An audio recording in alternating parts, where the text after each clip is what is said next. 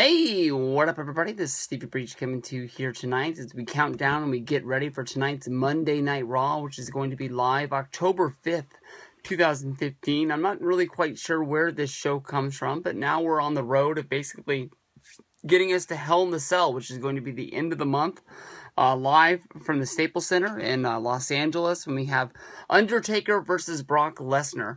Uh, I honestly was sort of uh, down on what they were doing with the WWE Network because honestly, I thought that they were going to do the WWE uh, Madison Square Garden show, and then I thought there was only going to be two weeks to build up uh, to get us to the Undertaker match for Hell in the Cell because at um, the last pay per view, which would have been Night of Champions, um, they out of the middle of nowhere after the first match with uh, Kevin Owens and Ryback, um, they put up you know the the promo for the Go to Hell tour featuring Brock Lesnar that they were going to be having a match at Hell in the Cell, and you would think immediately they would be promoting this like boom boom boom boom boom Hell in the Cell, Undertaker versus Brock, but instead they didn't want to overshadow uh, the Big Show versus Brock, so they were sort of playing up on that, even though Brock wasn't around to build up for the Madison Square Garden show.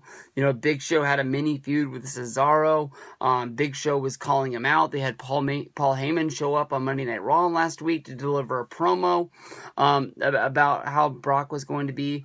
Uh, a little part of me will admit that I thought Undertaker was going to be at the Madison Square Garden show, you know, showing what Madison Square Garden means um, to uh, to WWE, what this show meant to the WWE network. I thought that basically he was going to come out, maybe have some sort of a face to face confrontation with Brock.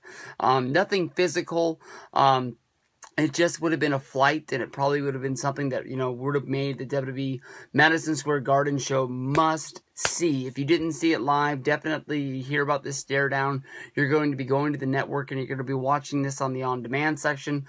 Um, you know, they've already hyped up the fact to us that uh, Brock is going to be on Monday Night Raw tomorrow night. I don't know what Undertaker's schedule is going to be, but when you think about normal um, Undertaker appearances when it comes to WrestleMania events, unless it's this year when he just didn't show up on Raw at all, if you go back to WrestleMania 30, um, I, I, would guess what they're going to do is they'll have Brock this week, they'll have Taker next week, and then more than likely Brock and Taker on the go home to Hell in the Cell down the road. So what does Brock do? Uh, we just saw Brock have a match with the Big Show where he was very physical. Um, he took um, choke slams. I believe it was four choke slams from Big Show. Then he gave four German suplexes and one and a half F5s to uh, the Big Show. Is he just going to come out on Monday Night Raw and uh, just show off basically the trophy that he shot at the Madison Square Garden show, like saying basically, I'm I'm in the best shape of my career. I'm going to be coming into this match. I beat you at um, SummerSlam, and I'm going to beat you again. Uh, because, you know, when it comes down to it, maybe if you look in the record books, Undertaker got the win after a shot in the nuts. But uh, everyone's seen the uh, the visual video footage of, um, you know, the SummerSlam match. Undertaker did tap out. It's not his fault that, uh, or Brock's fault, or Paul Heyman's fault that Charles Robinson was out of, of uh, position and didn't see it. The timekeeper rang the bell um, because he just thought that it was the right thing to do. A man was in the ring and he was trying to get out of a hold. and He said he couldn't take any more.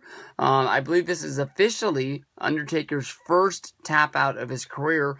If you go back and watch the Yard DVD or My Yard DVD, the documentary that's on there um, with him and Sara, they show him wrestling around in his living room with her, and he does tap out uh, to Sara after delivering some sort of a an arm hold. Maybe it's a, I, I can't remember what it was. I, I just remember every time I think about it, I honestly get mad because they're showing a thing about Undertaker taking a whole bunch of pain in the ring and never submitting.